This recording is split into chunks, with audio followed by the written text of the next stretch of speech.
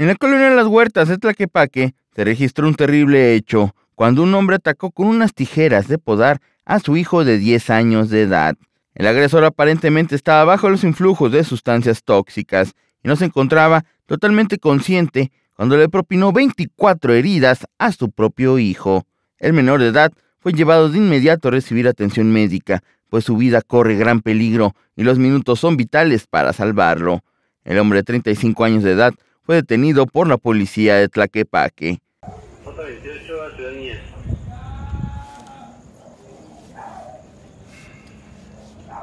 Para Noticel.mx, Sergio Enrique Hernández. ¿Sufre de algún dolor? Siéntase mejor. Bolitas de gel y cerámica que mantienen una temperatura óptima para un alivio más prolongado. Alivia dolor y ayuda a la recuperación muscular. Además, reduce hinchazón y la inflamación.